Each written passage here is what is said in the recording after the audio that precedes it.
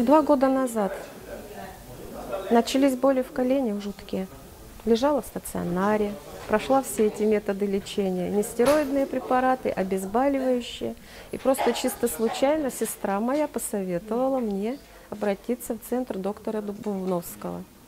И результат, конечно, не с первого раза, не, с- не после первого сеанса, но где-то через полгода я почувствовала результат.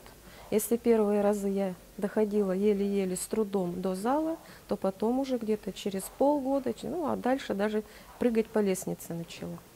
В центре, занимаю, в центре работает коллектив, очень пози- обстановка позитивная, специалисты прекрасные, тренеры ребята все такие. Вот даже сюда приходишь и занимаешься, и общаться. Тем более сейчас на пенсию ушла. Для меня это какое-то вот такое позитивное явление. Я прихожу, общаюсь с людьми, чувствую себя, что нужно немножечко поддерживать в форме, в тонусе.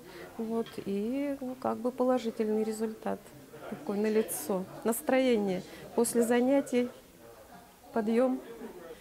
И вообще рекомендую всем, и молодым, и пожилым, все-таки уже сейчас, вот мне 60 лет, вот, не отчаиваться, руки не опускать, болят ноги, болят колени, болят суставы, не знаю, какие-то забедренные, локтевые, чтобы нужно, нужно заниматься. На лекарства надеяться нельзя.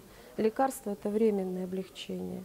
Вот. А нужно заниматься собой, нужно заниматься физкультурой, нужно, конечно, сбрасывать вес, что все это дается с трудом, но надо к этому стремиться.